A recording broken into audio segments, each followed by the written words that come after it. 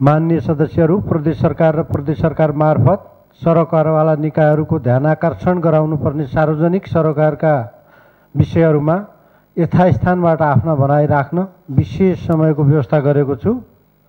सर्वप्रथम मान्य श्री जीवनबहादुर साई मान्य सदस्यले रोस्टम प्रयोग गर्न सक्नुहुन्छ। सम्माननीय सभामुख महोदय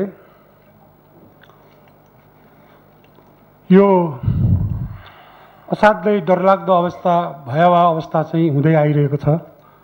प्रत्येक दिन मानिसहरू सयौँ हजारौँको सङ्ख्यामा हाम्रो प्रदेशभित्र भित्रिएको अवस्था छ।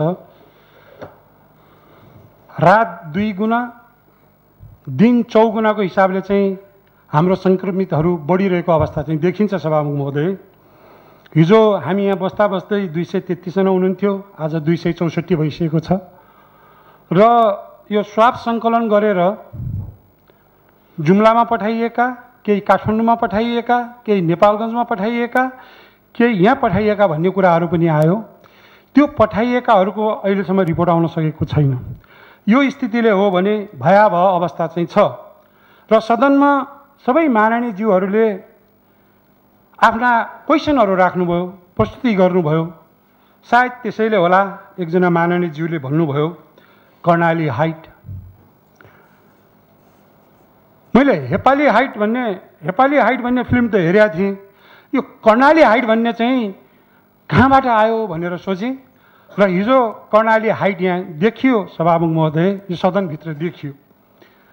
हामी पनि केन्द्रका मन्त्री भयौँ र अर्को पनि यहाँ माननीयज्यू हुनुहुन्छ मन्त्री भइसकेको। केन्द्रमा पनि माननीयज्यूहरूले प्रश्नहरू सोध्ने यसरी नै हो। ऱ्याप ऱ्याप दिने कहिले कहिले त हामीलाई यस्तो गाली गर्ने अवस्था पनि माननीयज्यूहरूले गर्थे। तर मन्त्री भनेको चाहिँ के हुन्थ्यो भने यहाँ आइसकेपछि संयम भएर नाचेर होइन गाएर होइन संयम भएर वास्तविकताको जवाफ दिने चाहिँ प्रचलन हुन्थ्यो। त्यसैले एउटा देखियो समा सम्माननीय सभामुख महोदय यो हाइट कस्तो हुन्छ र कस्तो मान्छेहरू मन्त्री हुनका लागि योग्य हुन्छन् भन्ने कुराहरू चाहिँ देखिएको छ। यसैले पनि सायद होला कर्णाली प्रदेशलाई सबैले हेप्ने। सायद यस्तै ओठे जवाब दिने भएको भए सम्माननीय केपी ओलीले पूर्व मन्त्री बाबुरामलाई धेरै ओठे जवाब दिनुहुन्थ्यो होला। पूर्व मन्त्री शेरबहादुरलाई धेरै ओठे जवाब दिनुहुन्थ्यो होला। तिमीहरू प्रधानमन्त्री हुँदा के हेरेका थियौ? तिमीले गर्नु पर्दैन भन्नुहुन्थ्यो होला। तर उहाँले कहिले त्यस्तो भन्नु भएन किनकि माननीयको सिटमा बसेको मान्छेले ती कुराहरू गर्ने हो र मन्त्रीले प्रधानमन्त्रीले संयमित भएर त्यसका जवाफ दिने हो।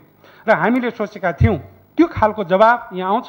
किनकि सबै यो सदनका सभासदज्यूहरूले भन्नुभएको थियो यी कमी कमजोरी भए यी कुराहरू किन भएनन्? यो अवस्था के छ? भनेर सोध्नुभएको थियो। त्यसको जवाफ केही पनि आएन। जवाफ सिर्फ दुईवटा मात्र आयो सभामुख महोदय। तिमीहरू हुँदा हेलिकप्टर चढेका होइनौ र हेलिकप्टर नचढ्न पाउनु भन्ने आयो। सबैले सुनेकै छ सभामुख महोदय। हामीले हेलिकप्टर नचढ भनेका छैनौँ। चढ जति सक्छौ चढ। तर हामीले के भन्यौँ भने विधि पुऱ्याएर चढ। लिनुपर्छ मान्छेलाई लिएर जाऊ।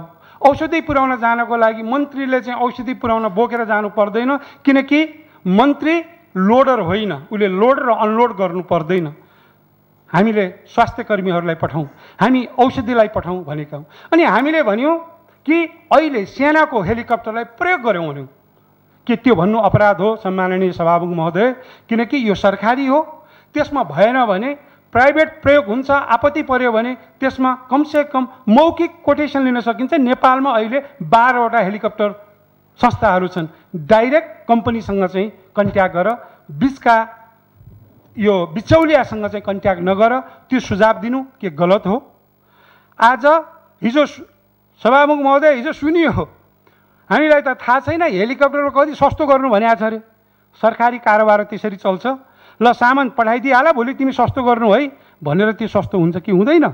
त्यो यो सिङ्गो सरकारको सिङ्गो सदनको मानमर्दन हो कि होइन भन्ने चाहिँ म भन्न चाहन्छु। सम्माननीय सभामुख महोदय वास्तवमा डक्टरको कुरामा यहाँ सदनलाई भ्रमित गरियो। यहाँ चाहिँ झुटा आरोपहरू लगाउने। हामी त नजिकै डक्टर थियो नि त्यस कारणले चाहिँ त्यहाँ नखटाइएको हो। त्यस कारणले हामीले चाहिँ यी भनेका हौँ भनेर पनि आयो। मैले आज प्रमाणसहित नै भन्नुपर्ने भयो सभामुख महोदय। के भन्नुपर्ने भयो भने अरूलाई चाहिँ प्रदेश सरकारले राख्नुपर्ने। त्यही खार्पुनाथलाई चाहिँ जहाँ मेरो जन्मथलो पनि हो त्यहाँ डक्टर पठाउँदाखेरि आते जाते टेडिए पछि तिमीले पुर्याउनु पर्ने भनेर लेखिएको चिठी छ सभामुख महोदय। म आज यो चिठी पनि संसदमा म पेस गर्न चाहन्छु। भनिएको छ भ्रमण सम्बन्धी अन्य आवश्यक कुराहरू खारपुनाथ गापाबाट नै भ्रमण हुने गरी अरूलाई नपर्ने खारपुनाथ गापालाई मात्र पर्ने अनि मैले डक्टर दिएको छ भन्न मिल्छ कि मिल्दैन सभामुख महोदय त्यति मात्र होइन। मैले सदनलाई पेस गर्न सक्ने चाहिँ मैले चाहिँ रेकर्ड गरेका र त्यहाँको मान्छेले भनेको तिमीलाई डक्टर चाहिन्छ भने खाना बस्न देऊ एक सय पच्चिस पर्सेन्ट दिनुपर्छ भने थाहा छैन डक्टरलाई भन्ने कुराहरू पनि छन्। त्यसैले हामीले हिजो सायद सारा यो संसदले सुन्न चाहेको थियो सरकारले कतिको उद्धार गर्यो? कति हो सङ्ख्या त्यो त्यो हिजो मलाई आए जस्तो लाग्दैन। सङ्ख्या कति हो? कतिलाई उद्धार गर्यो? सरकारले बसलाई आउन देऊ भन्ने मात्र उद्धार हो या बस र प्लेनबाट पनि मान्छेहरू पठाइएका छन्? त्यो प्लेनको फेयर कति तिरियो? आधा तिरियो कि पुरा तिरियो कि बस कहाँ कहाँ ठाउँमा पुर्याइयो? त्यो हामीले सुन्न चाहेका थियौँ सभामुख महोदय। अब भारतबाट फर्किने कति? हिजो के भनियो भने असी हजार भन्यो हाम्रो चाहिँ ऊ मिलेन मूल्याङ्कन मिलेन। कति आउँछन्? अब भारतबाट यतिजना मान्छे आउँदैछन् भनेर हामीले सुन्न चाहेका थियौँ सभामुख महोदय। अनि अरू मुलुकबाट कति आउँदैछन्? अब भारतबाट मात्र कुरा होइन। अरू मुलुकबाट कति आउँदैछ भने त्यो एजम्सन कति हो? त्यो हामीले सुन्न चाहेका थियौँ सभामुख महोदय। हाम्रो टेस्टिङ ट्रेसिङ गर्न मेन पावर कति छ? आरटी पिसिआर मेसिन भए अहिले त्यसले कति दिनमा कति टेस्ट गरिरहेको छ? अनि ती मेसिनहरू कति हामीलाई चाहिने हुन्? कतिवटा चाहिने हो? भिटिएम भन्ने पदार्थ हामीसँग छ कि छैन? यति हामीसँग छन्। यति चाहिँ स्वास्थ्य कर्मीहरू हामीलाई पुगेका छैनन्। हामीले त्यो सुन्न चाहेका थियौँ सभामुख महोदय। अनि क्वारेन्टाइनमा बसेका अहिले भन्ने आएको छ बाइस हजारलाई चेक गर्न सकिन्छ कि सकिन्न समयभित्रमा हामीले सुन्ने गरेका छौँ देख्ने गरेका छौँ सात सय आठ सय स्वाब सङ्कलन गरेर राखिएका छन् ती टेस्टिङमा गएका छैनन्। त्यो अवस्थालाई यति यति चाहिने छ यो भएको छ भने हामीले सुन्न चाहेका थियौँ सभामुख महोदय। अनि हामीलाई चाहिने आइसियु बेड अब कति हुन्? यति सङ्ख्यामा हामीलाई आइसियु बेड चाहिने भएको छ भन्ने हामीले सुन्न चाहेका थियौँ। बिसवटा आइसियु बेड छन्। अब त्यसपछि कति चाहिन्छ भनेर हामीले त्यो सुन्न चाहेका थियौँ सभामुख महोदय। यो डब्लुएचओले भनिसक्यो नेपाल पहिलो स्टेजमा प्रवेश गर्यो अब यो भयावह ढङ्गले जाँदैछ। भनिसकेपछि भेन्टिलेटर कति चाहिन्छ? यतिवटा भेन्टिलेटर चाहिनेछन्। हामीले यतिवटा भेन्टिलेटरको आवश्यकता पर्नेछ भनेर हामीले सुन्न चाहेका थियौँ सभामुख महोदय।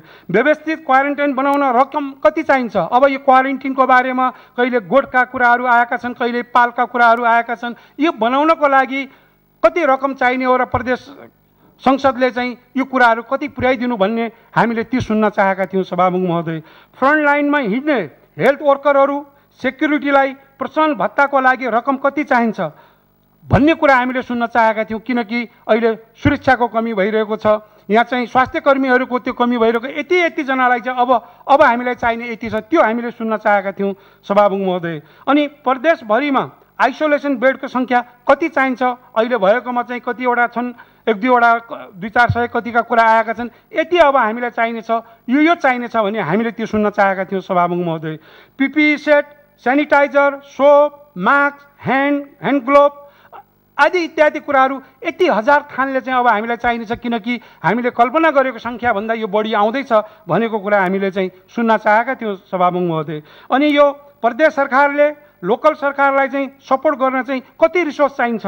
अब हिजो दिएको रिसोर्स पुगेन यी रिसोर्सहरू हामीलाई चाहिने भएको छ। यसको लागि चाहिँ म यो सदनमा यी कुराहरू राख्न चाहन्छु भनेर हामीले त्यो सुन्न चाहेका थियौँ सभामुख महोदय। महामारीले गर्दा अरू अरू दीर्घ रोगीको अवस्था के छ? सुत्केरीहरूको अवस्था के छ? बालबच्चाहरूको अवस्था के छ? किनकि महामारी महामारी भनेर अहिले त यो कोर हुन्न मैले त अब कोरोना भन्न छोडिसकेँ। सभामुख भयो को रुना भयो को रुने को रुने अब हाम्रो त यो के को रुने होइन कि सब रुने भइसकेको छ। त्यसको लागि के भएको छ? ओपिडीहरू हामीले खोल्न सकेका छौँ कि छैनौँ? ओपिडीको लागि हामीले डक्टर दिन सकेका छ कि छैनौँ? ती कुरा हामीले सुन्न चाहेका थियौँ सभामुख महोदय। हामी अस्ति यो कालागाउँको हस्पिटलमा बस्दा बस्दै यो कोभिड उन्नाइसको विषयमा छलफल हुँदाहुँदै एकजना भाइ युवा भाइ कहाँको हुनुहुन्छ मलाई थाहा छैन आएर भन्नुभयो तपाईँहरू के को मिटिङ गर्दै हुनुहुन्छ? आज एउटा बिरामी त्यहाँ मर्न लागेको छ त्यो ओपिडीमा कोही मान्छे डक्टर जान चाहँदैन। तपाईँहरू यहाँ वार्ता गफ गरेर बस्ने। भनेका तिनका पीडाहरू हामीले कानमा गुन्जिएका छन् सभामुख महोदय हामीले यी कुरा उठाएका थिएनौँ र त्यो कुरामा ओपिडीमा यो व्यवस्था हुँदैछ। त्यहाँका डक्टरहरू यति छन् त्यो कुरा हामीले यहाँ सुन्न चाहेका थियौँ सभामुख महोदय। त्यसलाई सहज ढङ्गले अगाडि कसरी बढाउन सकिन्छ त्यसको उपायहरू के हुनसक्छ यो सम्मानित सदनले मलाई चाहिँ त्यसको चाहिँ आवश्यकता पुरा गरिदियोस् भनेर त्यो कुरा सुनाउन् भन्ने हामीले चाहेका थियौँ सभामुख महोदय। अनि जिल्ला अस्पतालमा पैसा पठाइएको छ अरे त्यो पैसा केमा खर्च भयो? डक्टरहरूको लागि भयो अथवा जिल्ला अस्पतालका तिनीहरूलाई बाँडीचुँडी खानको लागि भयो काहीँ पच्चिस लाख दिएको छ काहीँ चौबिस लाख दिएको छ काहीँ तिस लाख दिएको छ तिनको रिपोर्ट चाहिँ यो किसिमले आएको छ भनेर हामीले त्यो सुन्न चाहेका थियौँ सभामुख महोदय। अनि हालसम्म डोनरबाट के के स्वास्थ्य सामग्री र नगद प्राप्त भयो? कुन कुन डोनरले के के सामानहरू हामीलाई दिएको छ? र कुन कुन डोनरले हाम्रो चाहिँ यो कोषमा पैसा दिएको छ त्यो सुन्न चाहेका थियौँ सभामुख महोदय तर हामीले त्यो सुन्न पाएनौँ।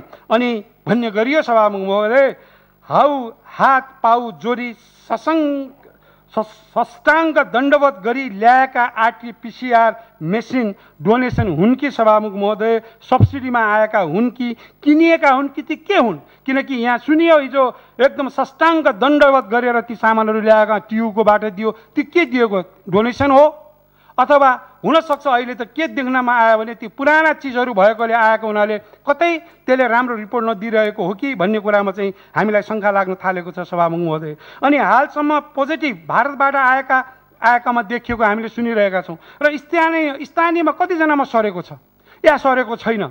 भारतबाट आएकामा मात्र यो भएको छ स्थानीयमा यतिजनालाई सरेको छ अथवा सरेको छैन? त्यो कुरा हामीले सुन्न चाहेका थियौँ तर त्यो कुरा पनि आएन सभा सभामुख महोदय। हात पाउ जोड्न सरकारमा सरकार सिपालु छ। किन भनियो हात पाउ जोड्नमा सरकारहरू सिपालु भएका हुँदा कतै कुनै विदेशीहरूसँग पनि हात पाउ जोडियो कि जोडिएन? जोडिएको भए केही प्राप्त हुन्थ्यो होला भयो कि भएन?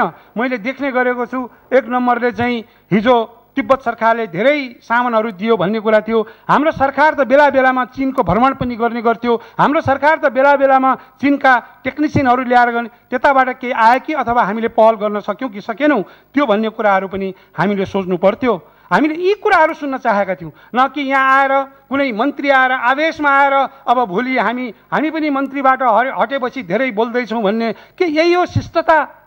मन्त्री हुनको लागि त्यति सजिलो छैन। त्यस कारणले मन्त्रीबाट हटेका दिनदेखि अरू माननीयहरूले पनि बोल्ने त्यो किनभने त्यो परम्परा त्यो चेतना नभइसकेपछि एउटा पँधेरीमा गए पँधेरामा गएर चाहिँ बोल्ने भाषाहरू मन्त्रीका हुन्छन् कि हुँदैनन्। त्यसले गर्दाखेरि सरकार प्रमुखले पनि ध्यान दिनुपर्ने कुरा के छ भने सभामुख महोदय यस्ता मन्त्रीहरूले चाहिँ यो प्रदेशको चाहिँ इज्जत राख्छ कि राख्दैन?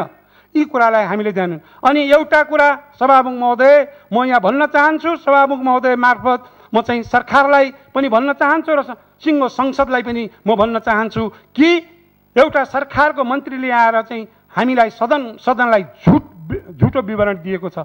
हिजो माननीय सांसदज्यूहरूले धेरैले के भन्नुभयो भने यस्तो बेलामा पनि स्कुल खोल्न मिल्छ यस्तो बेलामा पनि एर्चागममा खोल्न मिल्छ भन्ने कुराहरूको जवाफमा के आएको छ भने होइन यो कुरा त पहिल्यै भएको थियो अहिले हामीले गरेको छैन। तर मेरो मेरो नलेजमा आएको चाहिँ के हो भने सभामुख महोदय अठार गतेको क्याबिनेटमा स्कुल खोल्ने एर्सा खोल्नको लागि सिफारिस गरिएको छ अठार गतेको।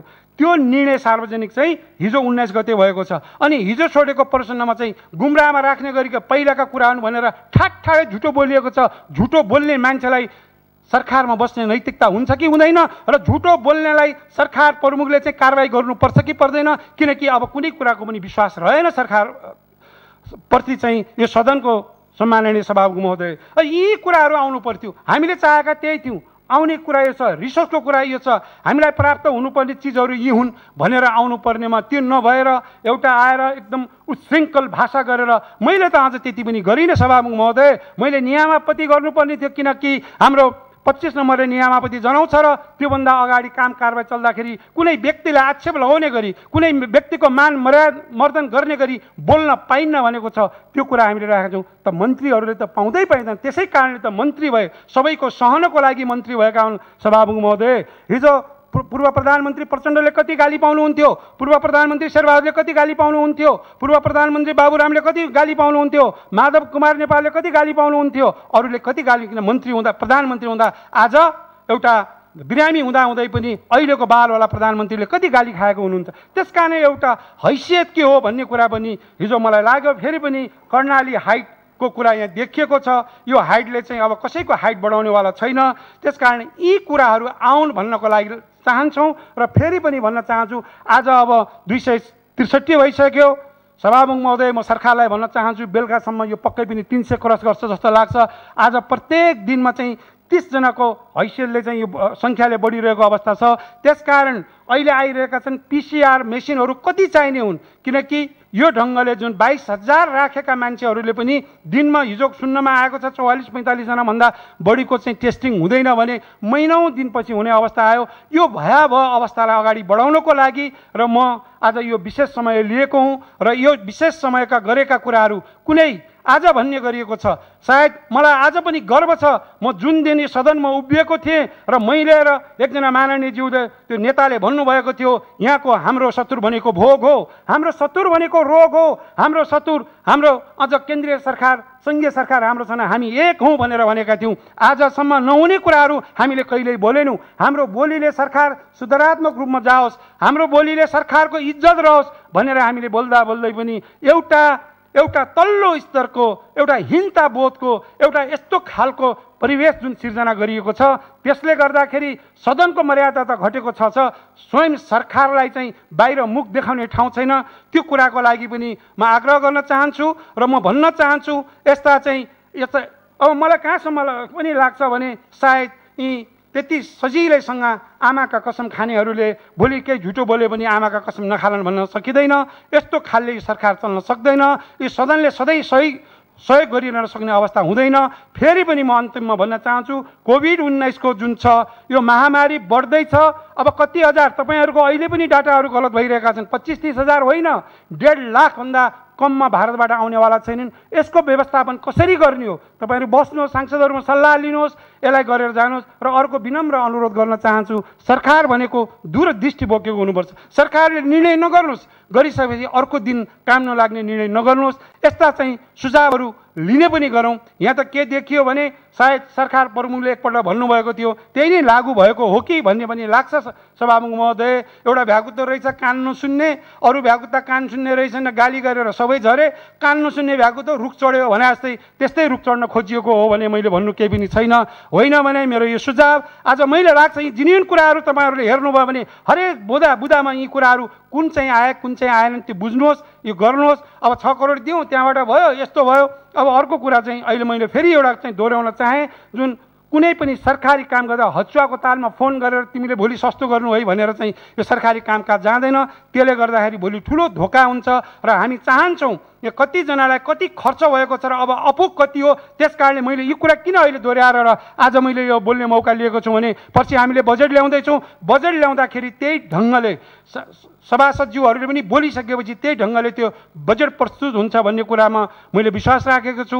यी कुराहरूलाई गुमराहमा राख्नुभयो भने फेरि पोहोर सालकै जस्तो बजेटको पनि हविगत त्यस्तै हुनसक्छ भन्ने कुरा राख्दै मलाई जुन बोल्ने मौका दिनुभयो त्यसको लागि हार्दिक हार्दिक धन्यवाद दिँदै बिदा हुन्छु। धन्यवाद जय नेपाल।